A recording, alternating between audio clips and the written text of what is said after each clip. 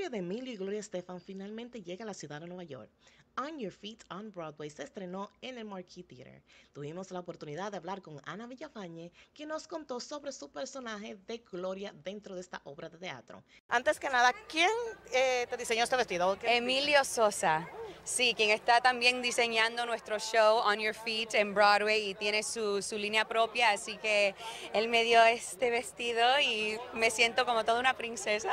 Ah, y, y, luces así. Gracias. Quiero primeramente felicitarte por este nuevo proyecto On Your Feet, que es sobre la vida de ese ícono de, de mujer latina, Gloria Estefan. Sí. Cuéntame un poco sobre tu personaje dentro de esta obra. Bueno, yo, yo tengo el honor de protagonizar como Gloria y eh, es una responsabilidad muy grande, pero el show en serio es una celebración de amor, de cultura, del amor de ella y de Emilio y del amor de ella de su música. Eh, así que todo eso es una, es una historia bella, un cuento bello y eh, un vacilón. It's a party.